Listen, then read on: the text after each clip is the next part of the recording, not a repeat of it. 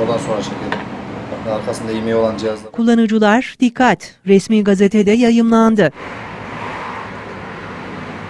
Karara göre daha önce 7 yıl olan e-mail kaydının silinme süresi 1 yıla düşürülecek. Uygulamanın amacı kaçak telefon kullanımının önüne geçmek. Daha önce bu süreç 7 yıldı. Hiçbir şekilde sinyal alınamayan telefonların kapatılması söz konusuydu. Bu düzenlemeyle 1 yıla düşürüldü. Kullanılmayan telefonun e-mail'si başka bir telefonlara klonlanıp yasa dışı kayıt işleminin önüne geçmek. Klonlama dediğimiz şey nedir? Eski cihazlarımızı e-mail'sini yeni yurt dışından gelmiş cihazlara kopyalanması neticesinde yasa dışı olan bir olay. Bir yıl boyunca kesintisiz sinyal alınmayan cihazlar kayıtlı e-mail havuzundan silinerek siyah listeye alınacak. Yedekte tuttuğumuz telefonlar oluyor kullanıcıların. İşte telefonumu garantiye göndereyim, servise göndereceğim zaman lazım olabilecek düşüncesiyle ikinci bir telefon olarak evinde beklettiği telefonlar bir nevi çöp olacak. Çünkü e-mail'si kapatılacak bir yıl eğer kullanmazsa hiçbir şekilde.